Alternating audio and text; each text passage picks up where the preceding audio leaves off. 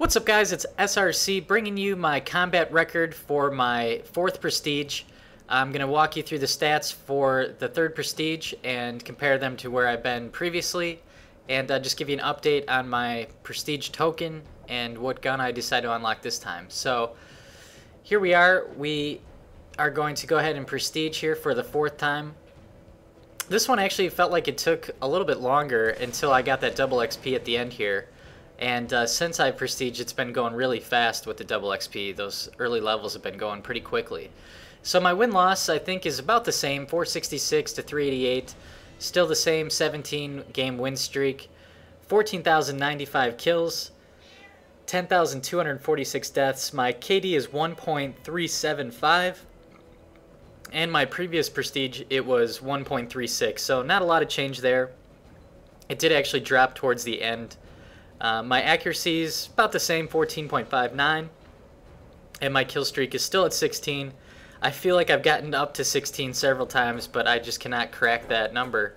And uh, I still have 6 hours of double XP.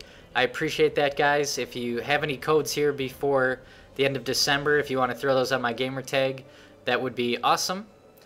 And then for the Prestige shop, I continue to unlock weapons.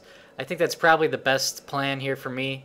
And this time I'm going to go ahead and unlock another SMG, the MP7. And that's a, a gun that, you know, being a level of 74 unlock, it just takes forever if I do decide to play it. And I did start to play with that quite a bit at the end of my last Prestige. And so I'll probably continue to use that here quite a bit going forward. Uh, but I think in future Prestige tokens, I might unlock the ACR that was definitely a gun that I wish I would have had a little bit earlier.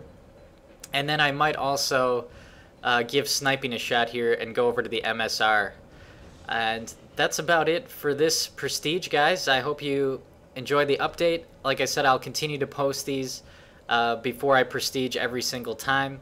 And I do intend to get to 10th Prestige, but I'm not in a real hurry to do it. It'll just happen when it happens, I guess. So thanks for watching, guys, and I will see you in the game.